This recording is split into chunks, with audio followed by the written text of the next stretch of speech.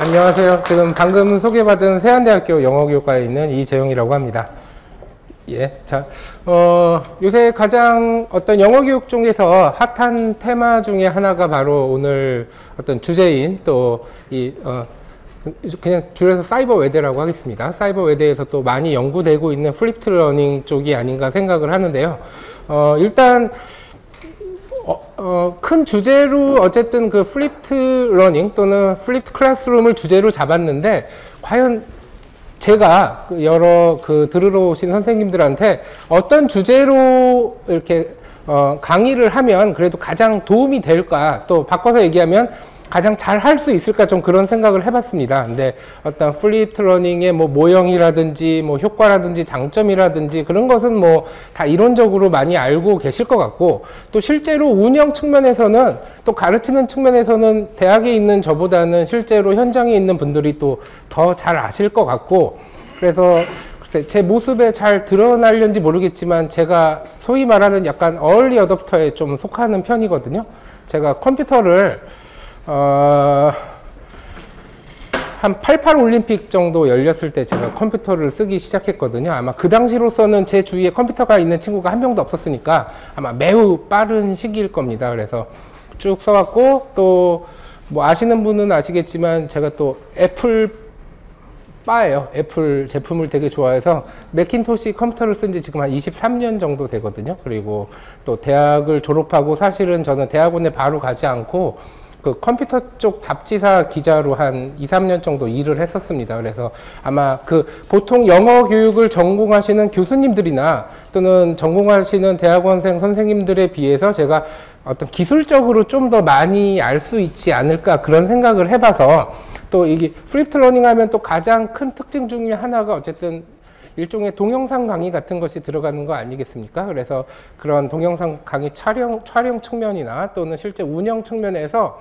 필요한 여러 뭐 하드웨어나 소프트웨어나 또 개인적으로 제가 이런 분야에서 좀 어, 실제로 뭐, 도, 뭐, 촬영이나 동영상 편집이나 수업 운영 같은 것을 해보면서 제가 느꼈던 측면들을 중간중간에 얘기 드리는 형식으로 한번 진행을 해 보도록 하겠습니다.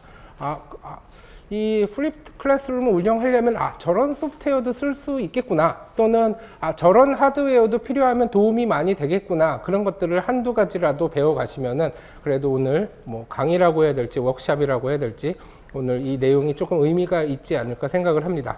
일단은 그 flipped classroom이 왜 필요한가 좀 저 개인적으로 생각을 해봤을 때는 크게 두 가지 이유가 있을 것 같아요. 뭐 하나하나 뭐 깊게 따져보자면 여러 가지 이유가 있겠지만 첫 번째는 제가 생각한 거는 우리 학교 현장에서 초, 중, 고등학교에서 영어 실수가 한 평균 3시간 정도 되지 않습니까? 그 시간이 일단 부족하기 때문에 영어에 뭐 노출되는 시간 또는 어, 영어를 학생들이 실제로 사용해 보는 시간을 늘려주기 위해서는 어떤 온, 온 오프라인 통합 형태의 어떤 수업이 필요하고 그 중에 또 좋은 매체 중에 하나가 바로 어, flipped 모델이 아닌가 그렇게 생각을 하고요. 그러니까 영어 사용의 어떤 기회나 시간의 증대가 있을 수 있, 있을 것 같고요. 또 하나는 우리가 영어를 사용하는 방법이 과거에는 매우 그 면대면 중심이지 않았습니까? 그러니까 face to face 그러니까 사람을 만나서 쓰게 되었는데 최근에는 여러 정보통신의 기술의 발전을 토대로 해서 사람을 만나서 쓰는 경우도 있지만 특히 컴퓨터 상에서 또는 휴대폰을 가지고서 영어를 쓰게 되는 경우도 상당히 많이 늘어나게 되었습니다. 그래서 저도 생각을 해보니까 제가 겉모습이 어떻게 보이려는지 모르겠지만 매우 매우 수줍음이 많거든요. 그래서 우리 예, 저 미스터 샤인데요. 예, 그래서 그 어, 저희 학교에도 원어민 교수님들이 계신데 전 부끄러워서 그냥 지나가면서 굿모닝 정도만 하고 도망을 가거든요. 예, 그래 그래서 그런지 저도 영, 이렇게 사람하고 만나서 어떤 소위 말하는 대화나 회화를 하는 상황보다 글을 읽고 쓰고 또 여기 남자 선생님들 중에 좀 계시는지 모르겠지만 제가 또 게임을 좀 좋아하거든요. 그래서 그 롤 같은 경우 북미 서버 가서 영어로 이렇게 뭐 좀 좀 안 좋은 말도 좀 쓰고 뭐 그런 식으로 어떻게 보면은 그, 그 Warschauer라는 학자가 한 2000년대 정도에 그 digital literacies라고 해서 컴퓨터나 그런 정보 기술 매체를 활용해서 영어를 쓰는 어떤 그 literacy도 필요하다라고 얘기를 했던 것처럼 그 학생들이 면대면뿐만 아니라 어떤 뭐 SNS가 됐던 웹 그 2.0 어떤 기술이 되었던 그 기, 어, 정보통신 기술을 매체로 해서 영어로 의사소통하는 기회를 또 증대하는 그런 효과도 flipped learning이 있지 않을까 그런 생각을 해 보았습니다. 자, 뭐 너무 실제적인 뭐 기계 얘기만 하면은 좀 그럴 것 같아서 살짝 어, flipped learning의 제가 생각하는 큰 장점 두 가지를 말씀을 해드렸고요. 그러면 크게 어, 뭐, 예, 예, 뭐 이런 건 다 좋은 내용이니까 한번 읽어보시기 바랍니다. 자, 일단 그 하드웨어부터 그러면은 flipped learning을 이렇게 운영을 하려면 물론 뭐 사이버 외대 같은 경우는 다 또 뭐 사이버 강의 촬영 시설이 되어 있을 거고 편집도 또 담당자가 해 주실 것이고 또 웹에 업로드 같은 경우도 다 운영자가 해 주실 것이고 그렇겠지만 어떤 내 개인이 영어 교사로서 flipped learning을 운영하기 위한 어떤 필요한 하드웨어들을 하나하나 좀 살펴보고 그리고 저 개인적으로 좀 추천도 해 드리도록 하겠습니다. 자, 일단 하드웨어 부분을 보게 되면 일단 가장 먼저 필요한 게 일단 촬영할 수 있는 기기가 있어야 되겠죠. 그래서 첫 번째로 생각한 것은 캠코더가 되겠습니다. 지금도 저 뒤에 캠코더가 하나 꽤 비싸 보이는 것이 하나 이렇게 설치가 되어 있는데요. 어, 캠코더는 사실 브랜드가 꽤 많이 있는데요. 제가 개인적으로 말씀을 드리자면 캠코더는 그냥 소니 거를 사시면 좋을 것 같습니다. 예. 제가 무슨 소니 홍보대사도 아닌데요. 예.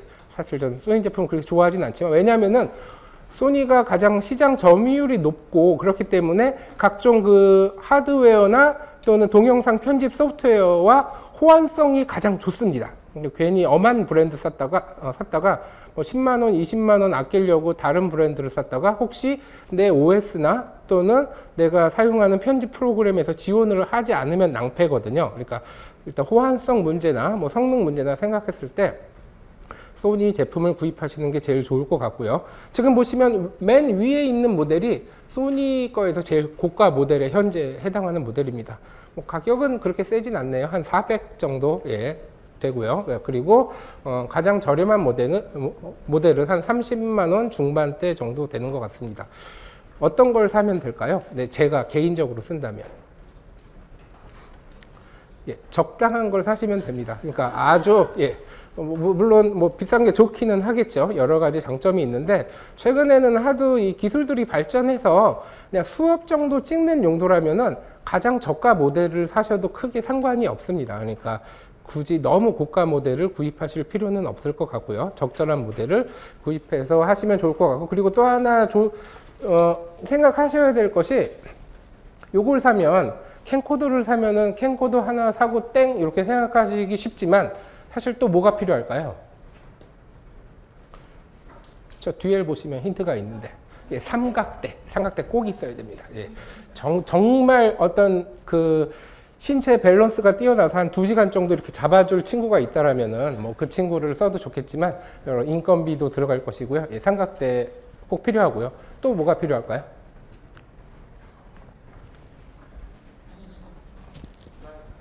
마이크도 필요합니다. 외부 마이크도 필요합니다. 아무래도 캠코더하고는 이게 좀 거리가 있기 때문에 어, 그 실제 동영상 촬영을 할 때 이런 외부 마이크가 거의 필수라고 할 수 있겠습니다.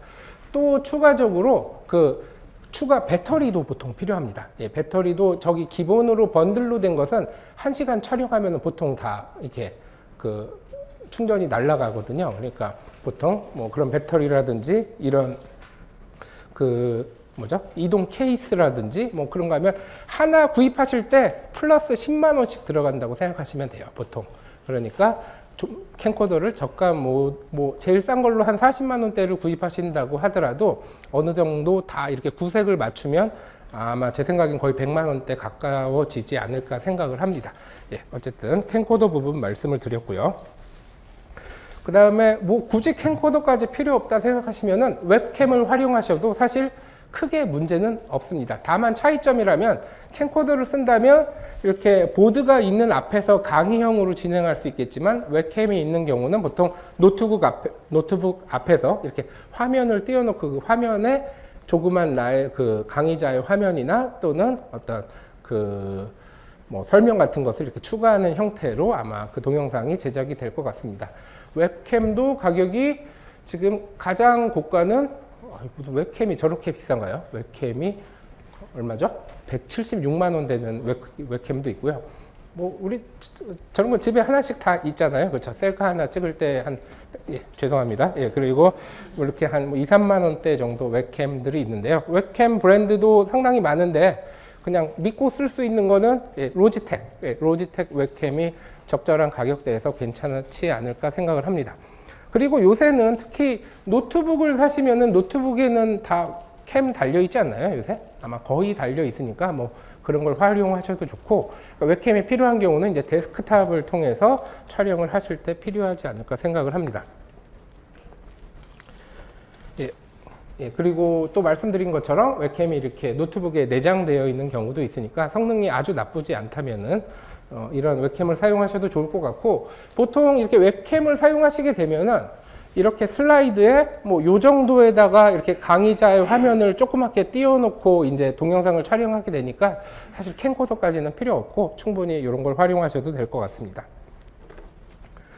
예, 그리고 또 하나의 촬영 방법은 스마트폰입니다. 그러니까 스마트폰도 요새 동영상 촬영 기능, 기능들이 다 있고 또 웬만한 기계 못지않게 다 이렇게 성능이 구현이 되기 때문에 또 보시는지 모르겠지만 조금 부족하다고 생각하시면 지금 스마트폰 렌즈 앞에 이렇게 렌, 부가 렌즈가 있죠. 저런 것들도 요새 많이 팝니다. 특히 제가 뭐 애플바 애플빠 좀 너무 표현이 싼가요? 예, 애플 애플 매니아? 예, 애플 제품을 좋아해서 그런지 어쩐지 모르지만 아이폰용으로는 정말 많이 나와 있습니다. 아무래도 전, 세적, 전 세계적으로 기종이 하나다 보니까 그런 것 같은데 저런 거 활용하시면은 꽤 잘 쓰실 수 있고 또 보시면은 스마트폰용 삼각대도 있는 거 이렇게 어, 발견하실 수 있을 거예요. 저런 걸 활용하셔도 좋고 조금 형편이 어려우시면 여기 예, 이 우측의 화면처럼 저렇게 재활용하셔서 쓰셔도 예, 예, 남들한테 보이지만 않으면 예, 괜찮을 것 같습니다. 예.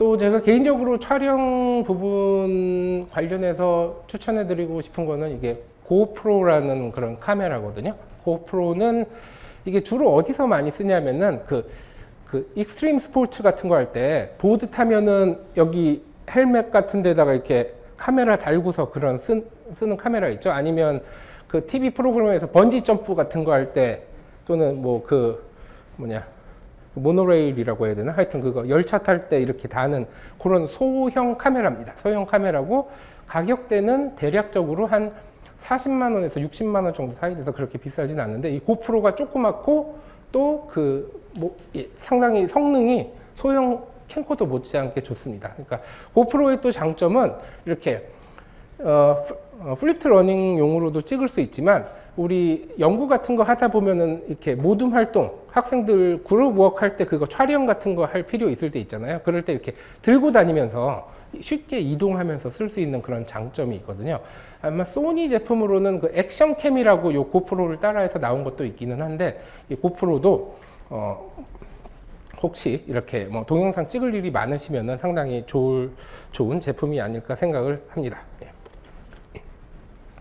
그리고 이거 너무 깨알 같을 수도 있는데요. 예, 요거는 그 이게 이게 뭐지? 아, 이건 캠코더가 아니라 디지털 카메라거든요. 되게 유명한 제품인데 혹시 이거 아세요? 모르 예, 모르시는구나. 캐논의 이게 뭐 정확히 읽으면 뭐 5D Mark III 정도 되겠네요. 아, 3가 아니라 요새는 2인데, 아, 그, 그, 요걸 줄여서 보통 오두막이라고 합니다. 오두막. 예, 오두막이라고 하는데, 영상 쪽에 계시는 분들은 다 아시는 카메라인데요. 요게 혹시 디카도 좋아하시고 하면은 요 카메라에 그 동영상 촬영 기능이 있거든요. 그래서 이제 메모리 카드에다가 보통 저장을 하는데, 제가 특, 어, 요 카메라를 보여드리는 이유는 요 카메라로 동영상을 찍으면은 엄청 색감이 예쁘게 나옵니다. 혹시 1박 2일이나 그런 TV 보다가 그냥 일반 화면이 나오다 갑자기 뭔가 화사하고 되게 예쁜 톤으로 바뀔 인터뷰 같은 거 할 때 바뀔 때가 있거든요. 그게 바로 요거로 찍은 겁니다. 예, 오두막 2로 찍은 건데요. 어, 예, 엄청 예쁘다. 화질이 엄청나게 좋다가 장점이고요.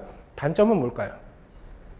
예, 비쌉니다. 예, 바디만 300 이상 주셔야 합니다. 예, 그러니까 예, 바, 아, 아, 요런 것들은 요 앞에 렌즈를 이렇게 갈아서 끼는 거거든요. 근데 기, 이거 렌즈 없이 그럼 요 튀어나온 게 없겠죠? 몸통만 예, 본체만 한 3, 정확한 가격은 제- 저도 잘 모르겠는데 300 이상 주셔야 합니다. 예. 근데 우리 뭐 며칠 술 안 먹고 좀 돈 아끼면은 뭐 살 수 있는 가격이니까 예. 그 혹시 또 이 정도 들고 다니면은 어디서 사진 찍으면은 아 되게 그 전문가처럼 보일 수가 있죠. 사진을 못 찍어도 남들은 내가 찍은 사진을 확인할 수가 없잖아요. 그러니까 저거를 들고만 다녀도 나의 지위가 올라간다고 생각하시면 되겠습니다. 단점은 단점은 알아보는 사람이 별로 없다는 거죠. 그쪽 그냥 아, 카메라가 좀 크네 그 정도인데 예, 소수의 매니아 계층에게라도 뭔가 좀 지지를 받고 싶, 부러움을 사고 싶으시면은 하나쯤 하나쯤 구입해 주시면 좋은 카메라가 되겠습니다. 예, 특, 음, 제가 특히 요거를 소개시켜 드리는 이유는 이- 그냥 좀 산으로 가겠습니다. 우리가 인생을 살다 보면은 왠지 있어 보여야 할 때 있잖아요. 예, 그럴 때뭐 커피 하면 요새는 너무 유명해졌는데 과거에는 제가 이- 뭐 드립하는 그런 커피 전문점 가서 좀 있어 보이기 위해서 많이 주, 주문했던 게 예가체프거든요. 예, 지금은 다 알지만 한 5년 전에만 하더라도 아, 아, 아, 나는 그 예가체프가 어, 좀 산미가 있는 것 같아. 그걸로 하면은 다 사람들이 그게 뭐냐고. 근데 사실 되게 싼 커피거든요. 뭐 그런 거라든지 아니면 락 좋아하냐 그러면은 나는 레드 제플린 좋아한다 그러면은 사실 레드 제플린 음악을 잘 몰라도 락을 아는 사람들은 아 좀 음악 좀 들을 줄 아네 그런 평가를 받을 수 있거든요. 요새 디카 많이 들고 다니니까 그냥 외우기도 쉽잖아요. 오두막 예, 참외나 수박 생각하시면서 예, 오두막 어 그거 하나 갖고 싶어 그러면은 아 좀 디카에 대해서 아는 애구나 그- 그런 평가를 들으실 수 있을 겁니다. 예. 그리고 이거는 조금 필요하실 수도 있고 안 필요하실 수도 있지만 우리 그 영상 피- 필요한 영상 자료들이 가끔 아날로그 형태로 저장된 경우도 있습니다. 그러니까 뭐 쉽게 해서 그 비디오 테이프 같은 경우 있죠. 그런 경우에 저장된 경우도 가끔 있거든요.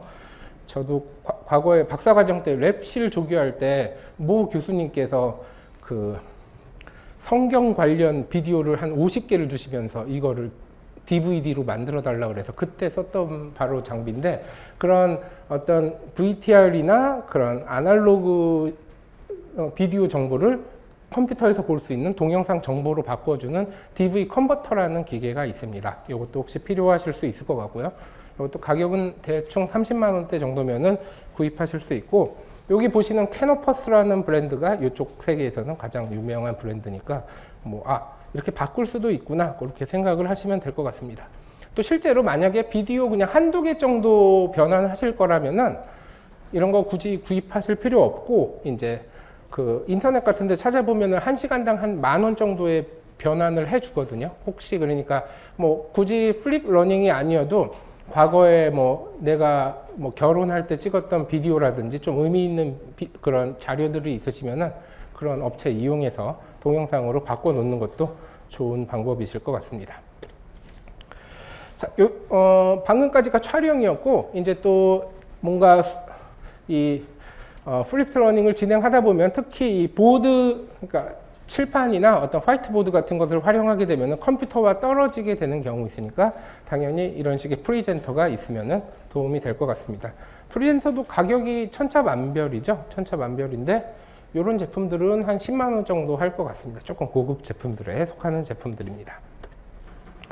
예, 그리고 요 경우는 이제 어, 보드가 아니라 컴퓨터 상에서 내가 강의를 촬영할 때 보면은 우리 그런 욕구 많이 생기잖아요. 그래서 PPT 화면이 있으면은 거기다가 내가 손으로 밑줄을 치고 글씨도 써주고 좀 그럴 필요가 많이 있죠. 그럴 때 마우스로 물론 정말 마우스 컨트롤의 달, 달인이라면 그쵸 마우스로 이렇게 다 할 수 있겠지만 혹시 마우스로 그림 그려 보셨어요?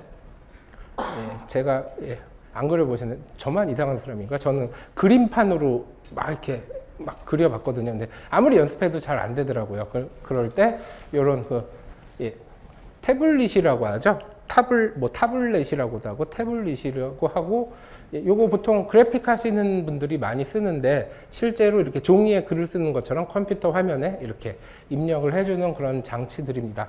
음, 또 뭐 요새 뭐 아이패드 뭐 이따가 또 그 태블릿으로 촬영할 수 있는 소프트웨어도 소개해 드리겠지만 뭐 최근에는 이렇게 뭐 태블릿 PC들도 많이 있으니까 그런 데서 직접 이렇게 손으로 하시든지 아니면은 이 태블릿 PC용 저런 요 펜을 팔거든요. 저걸 스타일러스라고 하는데 저런 스타일러스를 별도로 구매하셔도 좋을 것 같습니다. 태블릿은 얼마나 할까요? 저것도 이게 좀 가격 편차가 엄청나게 크거든요.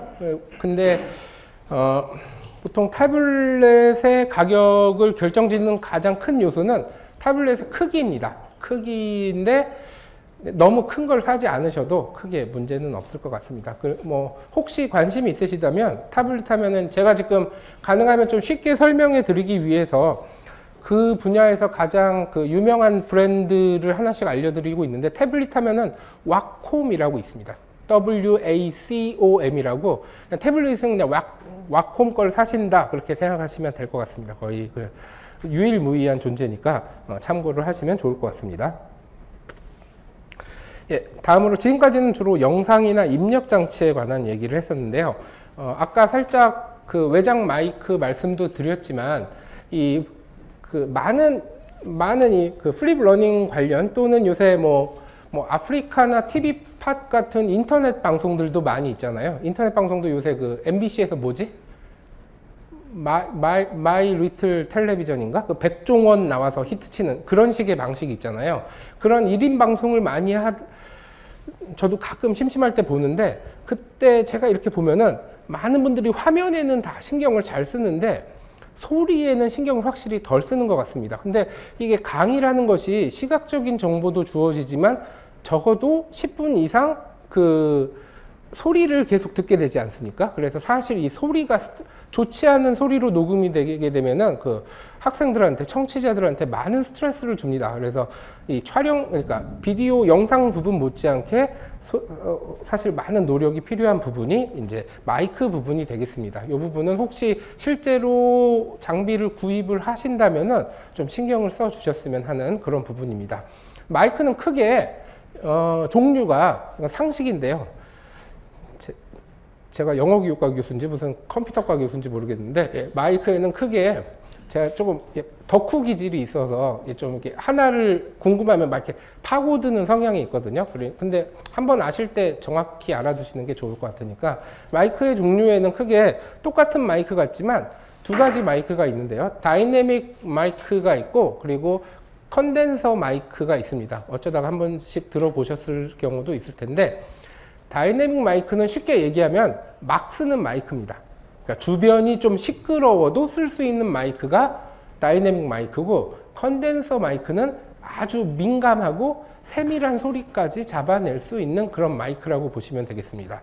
그래서 쉽게 제가 설명을 다이내믹 마이크는 강의형이라고 써놨고 컨덴서 마이크는 스튜디오용이라고 써놨는데 뭐죠? 어, 어, 천둥이 치는 거군요. 예. 어, 예. 저는 여기서 뭔가 하울링 같은 게 나나 했더니 예. 어, 장난 아닌데요. 자, 이런 환경에서는 뭐, 뭘 써야 될까요? 예. 다이내믹 마이크를 쓰면은 저 소리가 아마 안 들어갈 겁니다. 지향성이 이렇게 크지 않기 때문에. 근데 콘덴서 마이크를 쓰면은 저 소리도 아주 세밀하게 들어갑니다. 그러니까 본인이 녹음 촬영하시는 환경이 그냥 이런 교실 또는 우리 집, 거실, 뭐 서재 그런 곳이라면은 어떤 걸 써야 될까요? 예, 다이내믹 마이크를 쓰셔야 됩니다. 예. 주변에서 컨덴서 마이크를 쓰시면 주변에서 나는 방에서 한다고 문 닫고서 열심히 녹음하고 있는데 우리 애가 예를 들어서 거실에서 막 뛰어다니고 있으면 그 발소리가 다 들어갑니다. 예, 물론 그 현장감을 중요시 하신다면 컨덴서 마이크를 쓰실 수도 있겠지만은 예, 보통은 다이내믹 마이크를 써 주시고 그리고 그 하지만 방음이 되어 있는 스튜디오에서 촬영을 할 수 있는 경우가 있죠. 보통 대학에는 저도 사이버 강의를 하나 이번에 맡아서 했는데 뭐, 어, 뭐좀 부족하긴 하지만 뭐 방음 장비 같은 게 좀 돼 있더라고요. 그런 데서 쓰실 거면 컨덴서 마이크를 쓰시면은 훨씬 더 이렇게 예, 좋은 어, 음질로 녹음을 하실 수가 있습니다.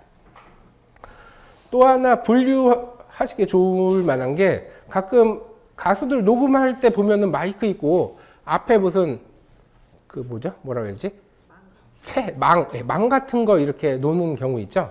그게 이제 컨덴서 마이크라고 생각하시면 되겠습니다. 왜냐하면은 다이내믹 마이크는 그러니까 쉽게 얘기하면 대충 침 튀어도 되지만 컨덴서 마이크는 그런 탁탁 붙는 소리까지 다 녹음이 된다고 생각하시면 됩니다. 그리고 컨덴서 마이크에 또 그럼 비싼 거는 컨덴서 마이크가 조금 더 비싸고요. 그리고 컨덴서 마이크의 또 어, 단점은 고장이 잘 납니다. 그러니까 갑자기 이러다가 어 이런 식으로 큰 소리를 내면은 예, 아, 마이크가 고장 납니다. 예, 고장 날 가능성이 매우 큽니다. 예, 예, 요게 지금 컨덴서 마이크에서 좀 사람들이 많이 쓰는 마이크고요. 어, 마이크는 그럼 어디께 좋을까요? 마이크는 예, 하나만 말씀드리면 요새는 이어폰이나 헤드폰 쪽에서도 좀 많이 그 많이 이렇게 어, 좀 들어보셨을 만한 브랜드인데 Shure라고 있습니다. Shure S-H-U-R이라는 브랜드 Shure 마이크가 보통 가장 많이 쓰는 마이크라고 보시면 되겠습니다. 그리고 지금 제가 말씀드린 건 다 유선 마이크 종류고요. 만약에 캠코더를 쓰신다면 제가 말씀드린 것처럼 이렇게 찍는 곳과 촬영하는 곳이 좀 거리가 있기 때문에 저기 카메라에 보면은 여기 위에 이렇게 그 무슨 요거 뭐죠? 더듬이처럼 이렇게 두 개 나와 있잖아요. 예. 저게 안테나거든요. 그래서 요거랑 이렇게 연결해서 쓰는 이런 어, 무선 마이크를 쓰시는 것도 상당히 좋은 방법이 되겠습니다. 가격대는 뭐 요 제품은 요 정도 되고 또 조금 더 저렴한 걸 구입하시려면은 구입하실 수도 있고요. 또 내 캠코더와 좀 호환이 되는 제품인지도 한번 생각해 보실 필요가 있겠습니다. 예, 요 마이크를 쓰면 단점이 뭐냐면은 여러 가지가 있지만 예, 건전지 값이 들어갑니다. 예, 그리고 이게 생각보다 그렇게 오래 가지 않거든요. 그러니까 혹시 열심히 하고 났는데 그 배터리가 다 방전돼서 오디오가 안 들어가고 그런 경우도 있거든요. 그러니까 수시로 체크하시면서 쓰시면 되겠습니다. 예, 그리고 집에서 이제 어, 스튜디오 레코딩이 아니라 집에서 레코딩하는 경우는 뭐 이런 경우가 될 수 있겠습니다. 이분이 그 마이 리틀 텔레비전 보다 보니까 그 김영철하고 같이 뭐 이렇게 영어 강의하는 그런 사람이더라고요. 여성이라서 제가 좀 검색을 해보니까 뭐 제시카라고 해서 예, 예, 여기 설명 보이실지 모르겠지만 아주 깨알같이 설명을 써놨는데요. 전문 강사는 아니지만 수준급 영어 실력으로 인기를 끌고 있는 BJ 어, 디바 제시카네요. 그냥 제시카도 아니고요. 뭐 이런 그 아프리카 그 BJ로 상당히 유명한 여성이더라고요. 이런 식으로 아마 캠코더 같은 걸 놓고 이렇게 자기 화면을 띄워서 이런 식으로 어, 홈 레코딩도 가능할 것 같고요. 그리고 제, 제 후배 중에 한 명이 그 EBS에서 그 고등 영어 강의하는 애가 있는데 걔가 뭐 EBS도 EBS지만 자기가 이렇게 뭐 문법 강의라든지 그런 걸 촬영해서 이렇게 그 유튜브에 업로드해서 채널을 만들었는데 최근에 이 home recording 시설을 만들었다고 이렇게 그 페이스북에 올렸더라고요. 그런 식으로 최근에는 home recording도 어느 정도 가능하겠습니다. 또 이제 예, 아 바로 이 친구인데요. 이 친구 같은 경우는 이제 주로 이제 스튜디오 레코딩을 하는데 어, 이 친구가 쓰는 방법 중에 하나 좀 괜찮은 방법이 이게 어, 빔 그러니까 슬라이드를 잘 만들어서 일반 칠판인데 스크린을 내리지 않고 일반 칠판에다가 그냥 그 프레젠테이션을 빔으로 쏴서 거기다가 직접 이렇게 밑줄을 쳐가면서 칠판에 파, 판서를 하면서 촬영을 하더라고요. 뭐 이름이 혹시 관심 있으시면 뭐 유튜브에 혼공이라고 치시면 되거든요. 혼자 공부하는 영어 그래서 혼공이라고 되어 있는데 나름 좀 이렇게 그 강의 촬영 쪽으로는 좀 뼈가 좀 이렇게 굵은 애니까 한번 촬영 이렇게 보시면은 수업 방식이나 이렇게 좀 기기 활용 같은 측면에서 좀 도움이 되실 수 있을 것 같습니다.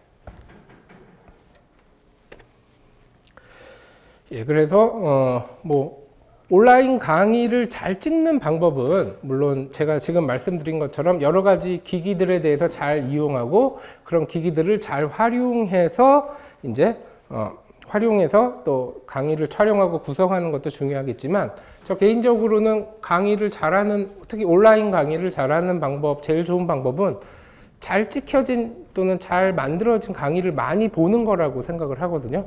물론 여기 뭐 김희진 교수님이나 뭐 조기석 교수님 강의를 보면은 아 그대로 따라하면 좋은 강의긴 하지만 또 이게 또 요새는 세계화 시대다 보니까 어 사이버 외대 강의 말고도 유튜브에서 특히 유튜브 에듀라고 있죠. 거기 가셔도 좀 볼만한 강의들이 많이 있고요.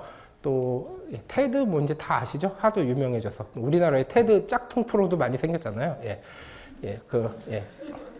어, 왜요? 뭐 세상을 바꾸는 뭐 15분이니 뭐 강연 100도 백도 수위 그런 거 다 짝퉁 아닌가요? 예, 예. 근데 좀 차이 차이가 그런 것 같아요. 이게 너무 이게 제가 너무 그 외국 문화만 뭐 쫓는 것처럼 보일 수도 있겠지만 테드는 그냥 자기 하고 싶은 얘기를 한다면 거기서 좀 자기 자랑을 많이 하는 게 조금 그런 것 같습니다. 아, 그냥 괜히 얘기했네요. 예, 어쨌든 테드에도 테드 에드가 있거든요. 예, 여기 가셔도 좀 좋은 자료 많이 있을 거고요. 또 예, 무크 같은 건 잘 아시죠? 예, 무크라든지 또 제가 좋아하는 제가 사랑하는 예, 아이튠스 U에 가도 iTunes U 가보셨어요? 혹시? 아, 안 가보셨구나. iTunes 까시고 거기 iTunes U 클릭하시면은 그냥 미국에 있는 대학교 강의는 뭐 다 보실 수 있다라고 생각하시면 됩니다. 대학 목록이 수백 개니까요. 예. 우리 뭐 예를 들어 하버드 가고 싶지만 못 가잖아요. 그렇죠? 그럴 때 거기에 가셔서 하버드 대학 강의를 보시면서 이렇게 대리 만족도 느끼시면 되죠. 예. 촘스키라고 치면 촘스키 강의도 많이 나오고요.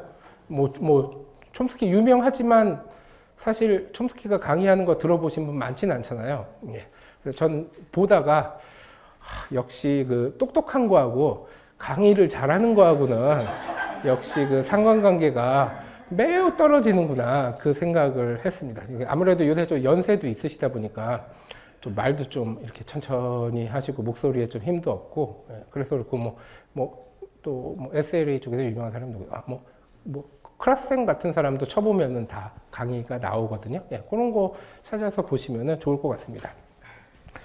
자, 우리나라 대학들도 몇 개 그 학교에 학교가 이 아이튠스 위에 올라와 있거든요. 예. 예. 기억 리을 사이버 대학이라든지 예. 그러니까 그 적들의 동태를 파악하기 위해서 또 한번 가셔서 어떤 식으로 운영하고 있는지 한번 보시는 것도 괜찮을 것 같습니다. 예. 잘 돼 있기는 2대 쪽이 제일 잘 돼 있는 것 같더라고요. 아이튠스 U 쪽에서는. 예, 그렇습니다. 어쨌든 좀 어, 기계도 중요하고 또 어떤 교사로서의 경험도 중요하지만 그러니까 좀 잘 찍혀진, 잘 작성된 그런 사이버 강의들을 좀 많이 보시면서 여러 가지 팁들을 얻으시는 것도 좋은 방법일 것 같아서 간단하게 말씀을 드렸습니다. 여기까지는 이제 어, 하드웨어에 관한 부분, 이라면은 이제 실제 그 촬영을 할 때 쓰는 소프트웨어나 또는 동영상 편집 소프트웨어 또는 요새 그 어떤 동영상 강의를 위해서 만들어진 소프트웨어들도 많이 나오고 있거든요. 그러니까 어떤 또 소프트웨어를 사용해서 여러분들이 동영상을 만들 수 있는지 한번 보도록 하겠습니다. 일단 처음에 소개들, 처음에 나오는 소프트웨어들은 딱 강의용 어떤 프로그램이라기보다는 그냥 동영상, 일반적인 목적의 동영상 프로그램이라고 보시면 되겠습니다.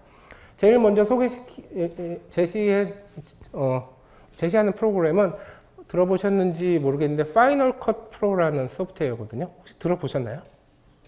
첫 경험이신가요? 예, 그 Final Cut Pro는 아쉽게도 그 애플 컴퓨터 그러니까 맥에서만 돌아가는 프로그램이긴 합니다만 업계 표준입니다. 예, 그러니까 현재 뭐, 뭐 수, 수십, 수백 개의 방송국들이 있지 않습니까? 그 방송국 전체에서 이 프로그램을 사용하신다고 보시면 되겠습니다. 바꿔 말하면은 이거 줄여서 그냥 그냥 파컷, 파컷 그러는데요. 팝컷만 잘 쓰시면은 굶지는 않는 그런 프로그램이 되겠습니다. 예. 혹시 맥이 있으시다면 한 번쯤 이렇게 배워보실 만한 그런 프로그램이 되겠고요. 그 다음에 역시 맥 쪽에서 조금 더 쉽게 편집할 수 있는 소프트웨어가 iMovie라는 프로그램이 있습니다. 일단 요새는 맥들도 많이 쓰시니까 일단 제시를 해봤고요. iMovie는 그 윈도우즈에 지금은 요새 윈도우즈가 몇이죠? 8인가? 예, 요새 Windows에는 Windows 옛날 Windows에 Windows Movie Maker가 있었죠 동영상 프로그램 그거 같은 프로그램이라고 생각하시면 되겠습니다 사실 iMovie가 맥에 깔리면서 한 1년 있다가 Windows에 그 Windows Movie Maker가 이렇게 설치가 됐던 거거든요 그런 프로그램 좀 쉽게 편집할 수 있는 프로그램이라고 생각하시면 되겠고 제가 예, 뭐 이게 가족 얘기까지 하게 되는데 제 와이프도 맥을 쓰거든요. 제가 쓰라고 해서 예, 쓰는데 최근에 그 학교 선생님인데 무슨 얼마 전에 어버이날이 있었잖아요. 그래서 어버이날 뭐 감 동영상 해서 애들이 뭐 그림 그려서 어버이날 노래에 뭐 이렇게 싱크를 해서 뭐 뮤직비디오처럼 동영상을 만들어야 된다고 저한테 만들어 달라는 거예요. 그래고 귀찮아서 제가 이 프로그램이 있어. 그러면서 어 약 5분간 설명을 해줬어요. 이렇게 불러와서 이렇게 이렇게 하면 된다 하니까 한 2시간 있다가 직접 만들었더라고요. 그러니까 매우 좀 간단한 프로그램입니다. 예. 그리고 Windows에서는 어, 방금 말씀드린 것처럼 Windows Movie Maker라는 그런 좀 비사, 비슷한 종류의 소프트웨어가 있고요. 참고로 지금 최신 Window를 찾아보시면은 Windows Movie Maker가 없을 거예요.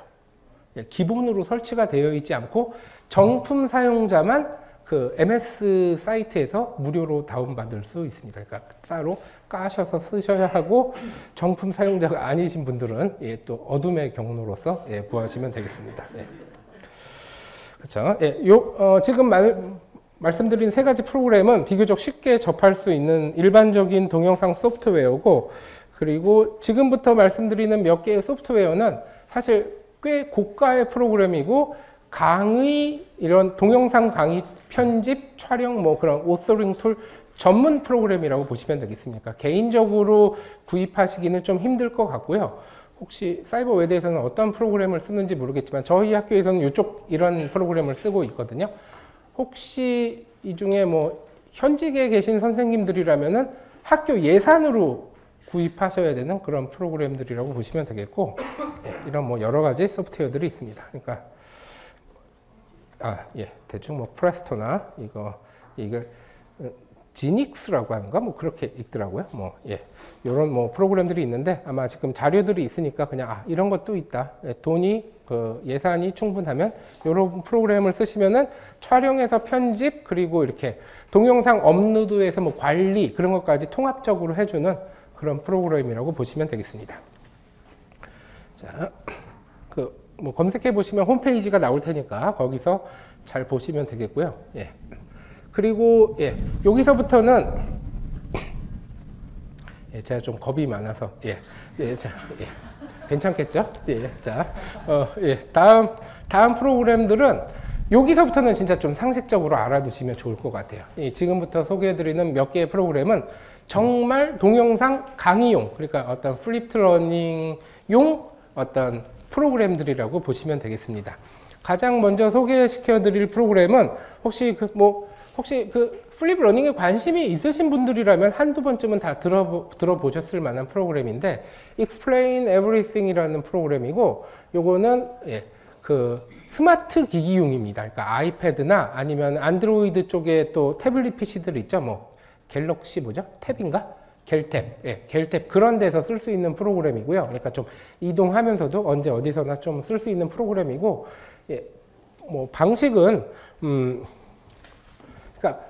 파워포인트 만들듯이 만든다고 생각하시면 되겠어요. 글자나 영상 자료나 또는 뭐 그림 자료나 불러와서 화면을 구성한 다음에 이제 내 목소리나 어떤 화면을 녹음 거기다 덧붙이는 방식으로 만들어지는 프로그램이라고 생각하시면 되겠습니다. 가격은 얼마 정도 될 것 같으세요? 공짜는 아닌데. 다들 뭐 경제적으로는 별로 이렇게 신경 안 쓰시는군요. 아까 예, Final Cut Pro는 한 3, 40만 원 정도 하고요. 이 프로그램은 다행히 만 원 정도 합니다. 그러니까 예, 그 9.99달러인가 그 정도 합니다. 그러니까 혹시 그 뭐 요새 그 뭐 태블릿 하나씩은 다 갖고 계시잖아요. 그렇죠? 거기에 하나 깔아서 써 보시는 것도 괜찮을 것 같습니다. 요건 한번 화면을 좀 보여 드리면 좋을 것 같아요. 예. 이런 식으로 예, 뭐 explain everything이라고 뭐 구글도 좋고 네이버도 좋고 검색을 하시면은 요새 좀 관심이 있는 선생님들이 이렇게 동영상 같은 걸로 다 사용법을 만들어서 이렇게 올려주고 계십니다. 또 우리는 영어가 되니까 그렇죠? 그냥 그 회사 사이트 가서 뭐 보셔도 되고요.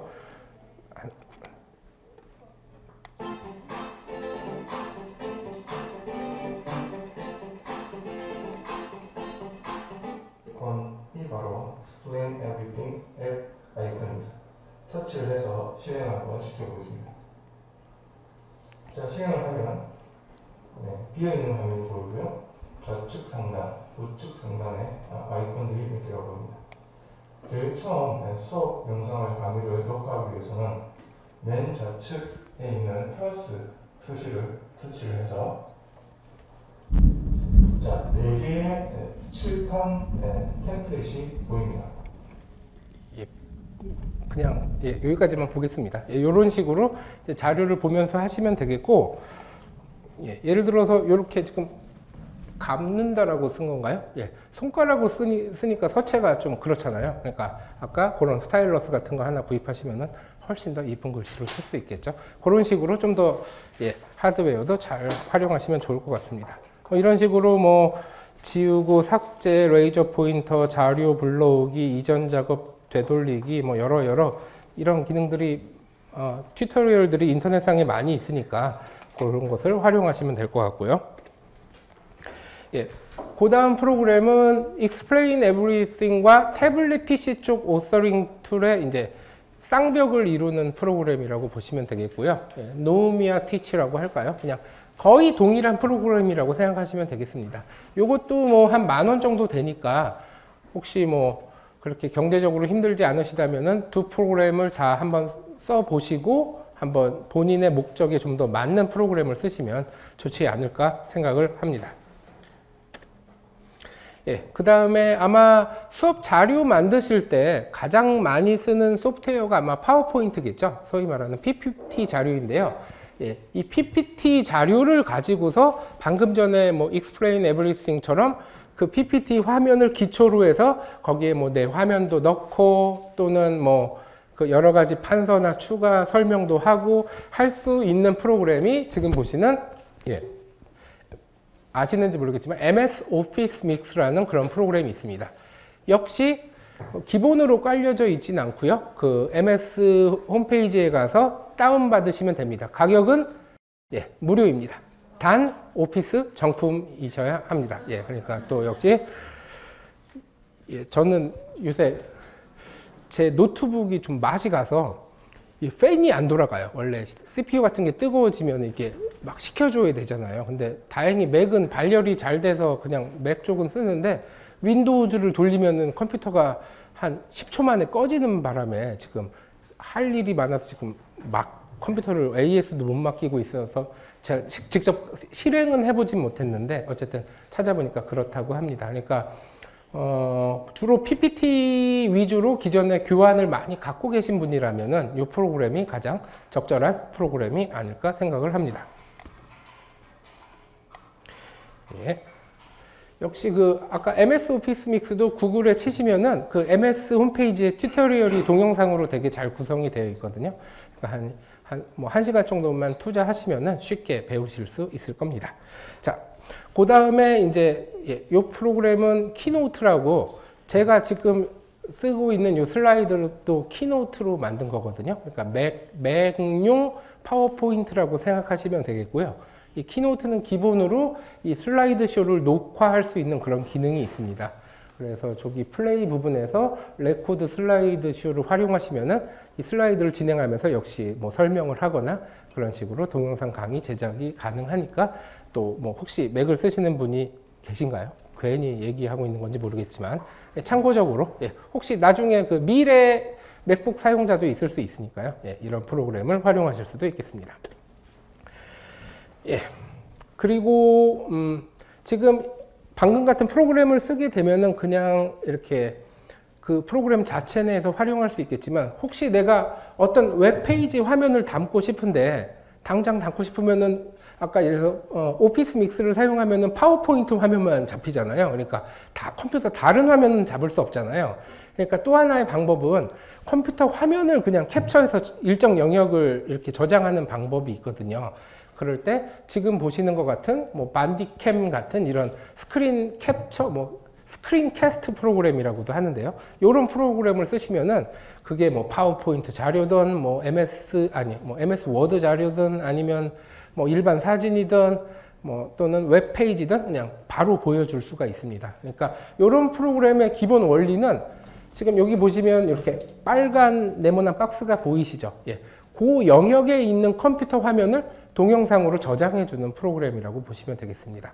그러니까 만약에 파워포인트를 요것을 통해서 하고 싶으시면은 요 네모난 박스를 박스 안에 파워포인트 그 슬라이드를 딱 맞춰놓고서 이렇게 촬영을 하시면 되겠죠. 예, 요런 어, 어떤 그 캡처 프로그램을 쓰시면 조, 어, 쓰시는 것도 또 하나의 방법이 될 수 있을 것 같고요. 바로 요 방법이 바로 요런 방법이 바로 그 뭐냐 그 아프리카나 TV팟 BJ들이 쓰는 방식이 바로 요 방식이라고 생각하시면 되겠습니다. 뭐 게임 방송을 하는 BJ들은 요 박스 안에 게임 화면을 집어넣고 거기서 막 게임을 하면 우리는 보면은 마치 그게 중계가 되는 것처럼 이렇게 쓰는 프로그램이 되겠죠. 이런 프로그램들은 상당히 종류가 많습니다. 지금 뭐 Bandicam도 있고 이건 좀 옛날부터 유명했던 프로그램인데 예, Screencast-O-Matic이라는 프로그램도 있고 그렇죠. 여기도 빨간색은 아니지만 이렇게 점선으로 이렇게 박스가 보이시죠? 예. 그리고 예. 이것도 많이 들어보셨을 것 같아요. 예, 예전부터 컴퓨터를 쓰셨던 분들은 예, 캠타시아라는 프로그램도 있고 예. 그리고 제가 말씀드렸듯이 이 아프리카 그 스튜디오라고 아프리카 방송하는 프로그램도 역시 여기서 동영상 저장 기능이 있거든요. 그러니까 그냥 일반 방으로 하게 되면은 내가 막 예를 들어서 영어 강의를 하고 있는데 사람들이 들어올 수 있겠죠. 그렇게 안 하려면 비밀번호를 걸어놓고 나만 있게 한 다음 강의를 해서 그걸 저장을 하면은 역시 바로 동영상으로 만드실 수가 있습니다. 그리고 예. 아, 예. 아 이거 제가 위에 제목을 안 바꿨네요. 이건 인터넷 방송 프로그램으로 똑같은 다음에서 만든 이건 TV팟이란 프로그램인데 예, 요거 예, 요것도 역시 아프리카처럼 동일하게 쓰실 수가 있습니다. 참고로 제가 겨울 방학 때 그 저희과 학생들에서 좀 임용고시를 열심히 하는 학생들을 위해서 인터넷으로 이렇게 일주일에 한 번씩 한 두세 시간씩 같이 스터디를 하면서 특강 비슷하게 그 원격으로 운영을 했었는데 그때 썼던 프로그램이 요 TV팟입니다. 그러니까 아, 아프리카보다 TV팟이 조금 더 화질이 좋고요. 그리고 장점이 아프리카는 사람이 너무 많아서 좀 서버도 잘 터지고 중간에 끊기고 하는데 다음 팟은 좀 한적하거든요. 그래서 이게 사람들도 별로 없고 한번 비번을 안 걸어놓고 해봤는데 아무도 안 들어오더라고요. 그러니까 아주 예 저처럼 어떤 고독을 즐기는 그런 어떤 사람한테 아주 적합한 그런 툴이 되겠습니다. TV팟 있고요. 자, 이렇게 동영상을 일단 촬영을 해서 또 여러 가지 소프트웨어를 이제 활용을 해서 뭐 그런 아까 말씀드렸던 뭐 Final Cut Pro 같은 전문 tool을 사용할 수도 있고 아니면 뭐 Office Mix나 Keynote 같은 그 자체에서 지원하는 그런 강의 제작 기능을 활용하실 수도 있고 아니면 방금 전에 뭐 Bandicam이나 Camtasia나 또는 TV팟 같은 screen capture 프로그램을 통해서 어쨌든 동영상을 만들어서 편집을 하셨으면 이제 최종적으로 학생들이 볼 수 있게 해야 되겠죠. 그러니까 sharing 하는 방법에 대해서 뭐 잘 아시겠지만 부족 하나마 또 약간 말씀을 드려보겠습니다. 이 마이크가 좀 지향성이 상당히 많이 타네요. 예, 자, 예.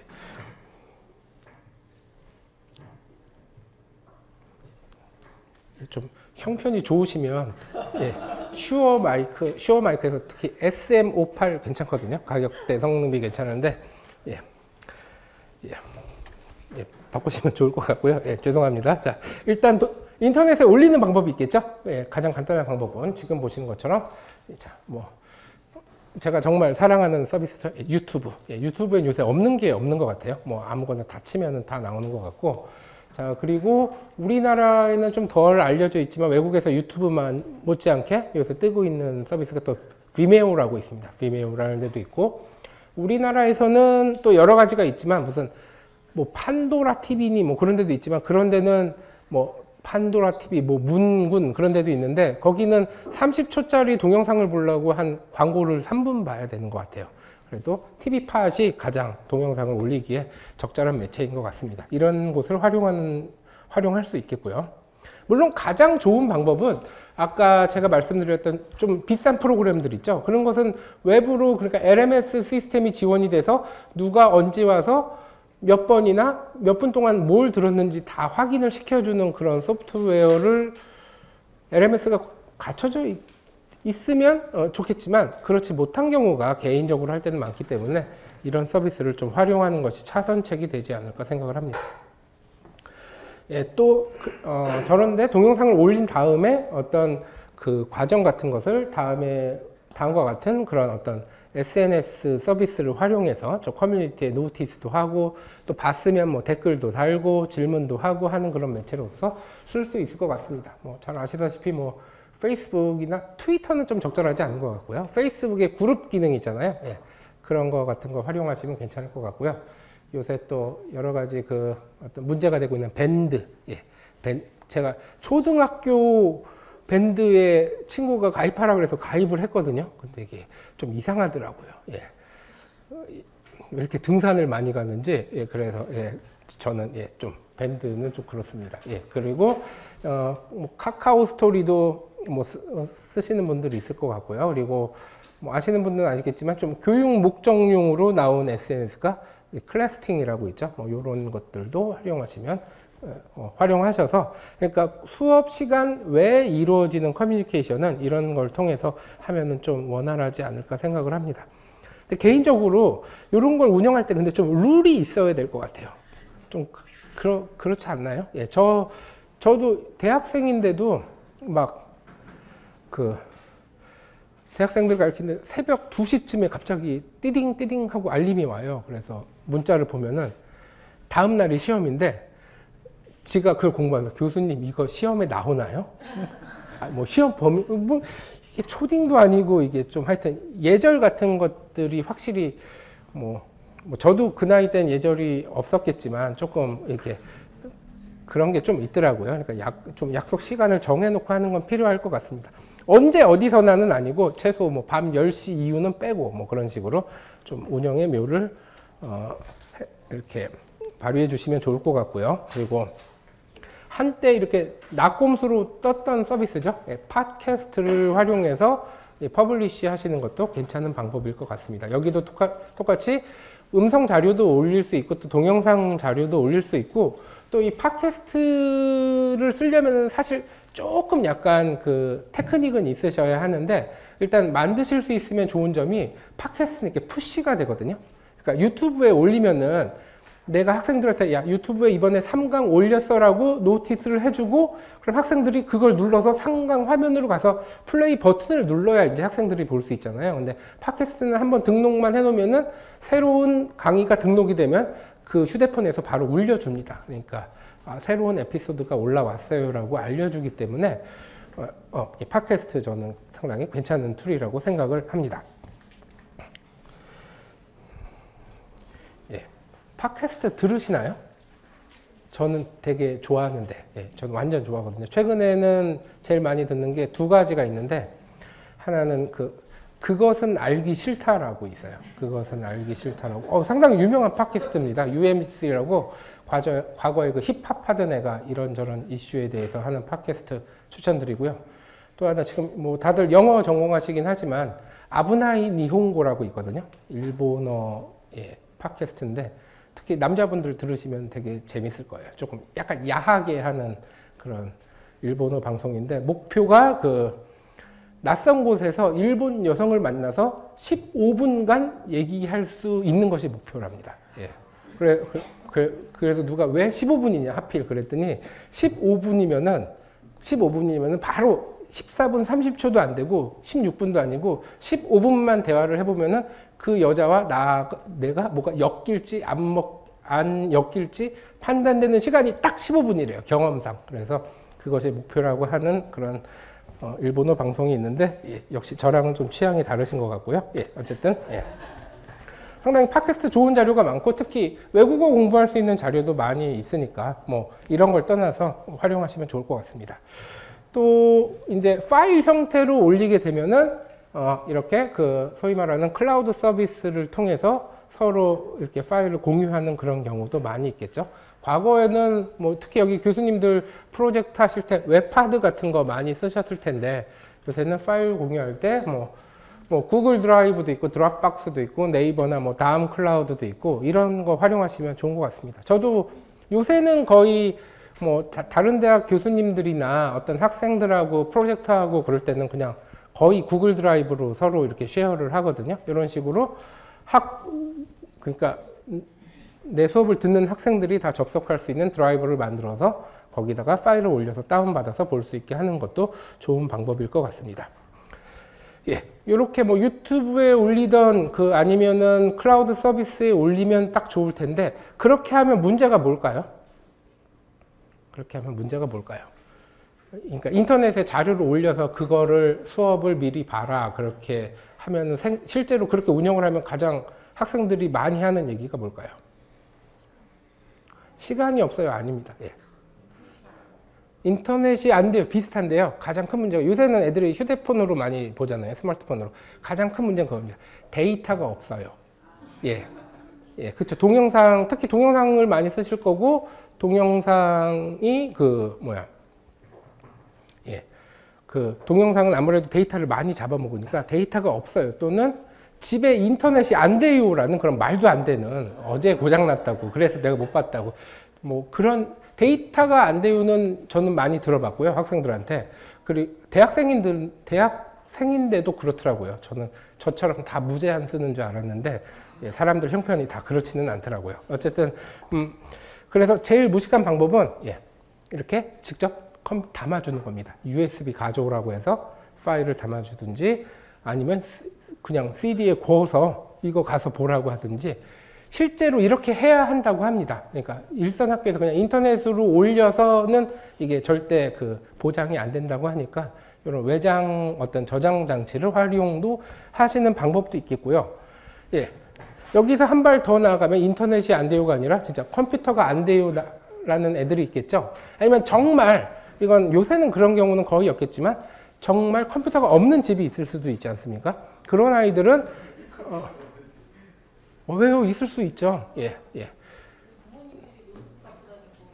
예, 뭐 그럴 예, 예, 그럴 그럴 수도 있고 여러 가지 하여튼 우리의 상식으로 이해되지 않는 일들이 충분히 벌어질 수 있거든요. 그러니까 그런 애들은 어떻게 하면 될까요?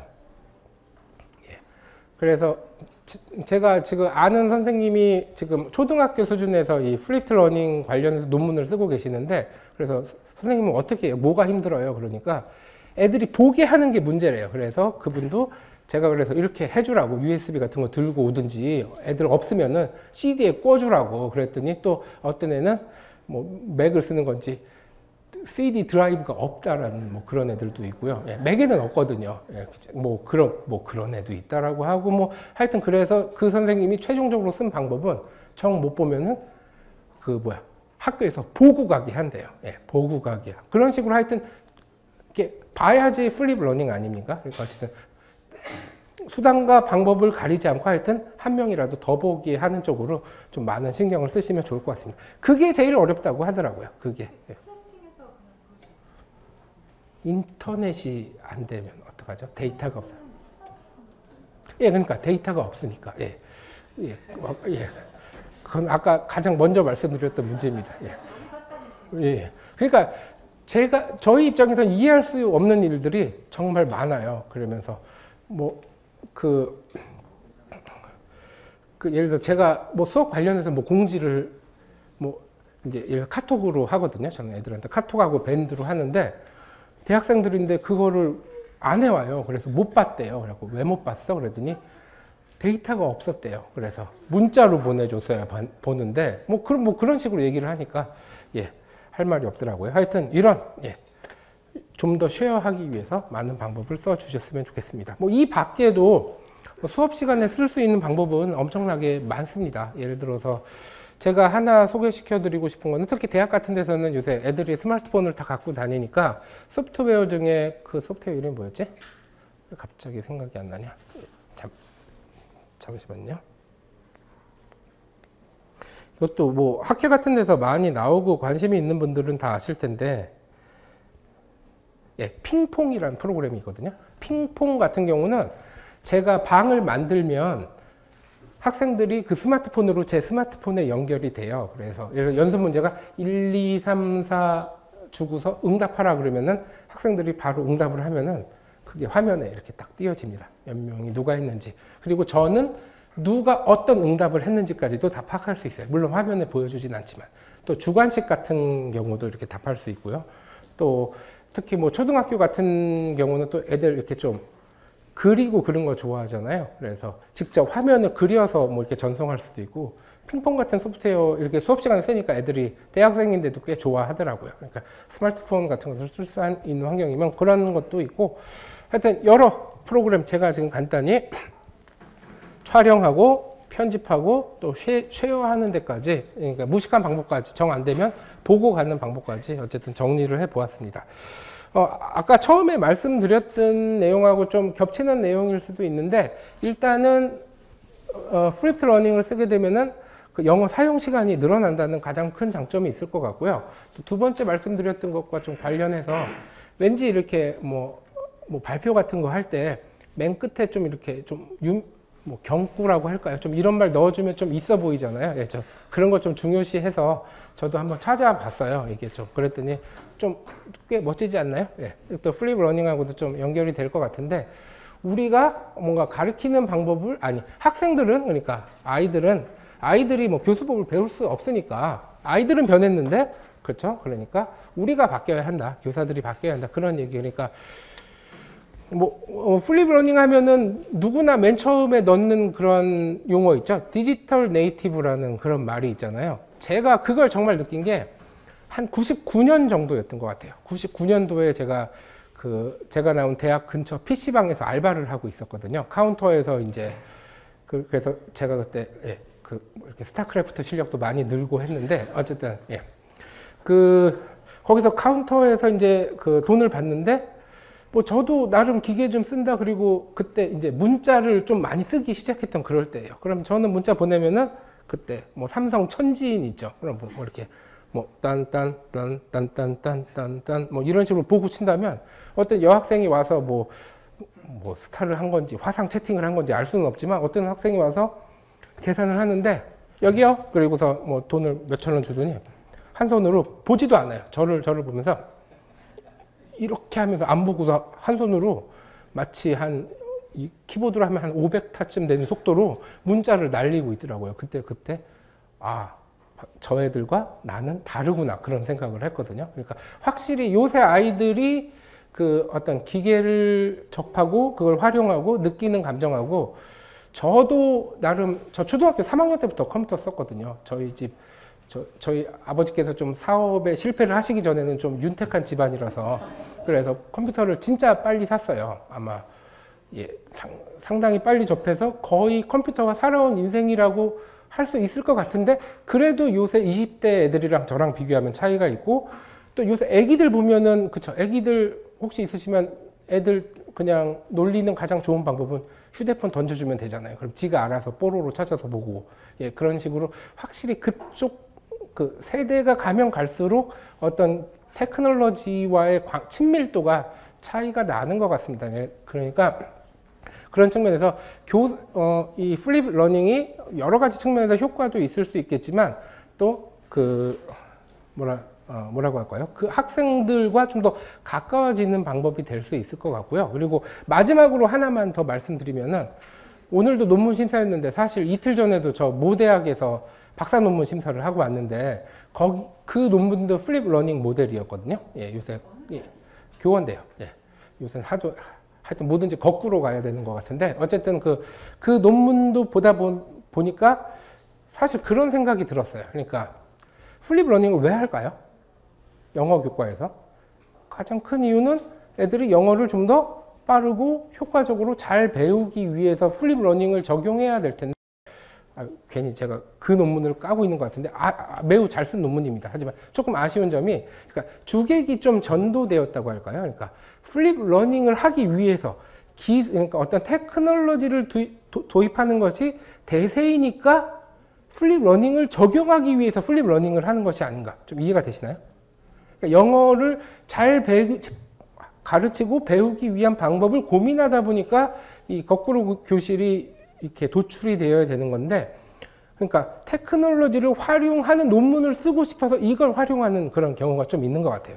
그건 좀 생각해 볼 만한 문제인 것 같습니다. 그러니까 설사, 설사 그러니까 내가 어 뭐 테크놀로지 쪽에 좀 관심이 있고 flip learning이 요새 가장 핫한 주제고 예를 들어서 또 뭐 지도 교수님이 하라고 하고 그래서 쓸 수도 있겠지만 어쨌든 막상 그 주제로 논문을 쓰실 때는 그렇다면 이 도구를 활용해서 어떻게 내가 그, 어, 그 어떤 외국어 학습이라는 학생들이 겪는 과정을 더 원활하게 해줄 것인가에 대한 고민이 일단 우선돼야 되지 않을까 그런 생각을 하면서 어, 김희진 교수님께서 빨리 끝내달라고 하셔서 예.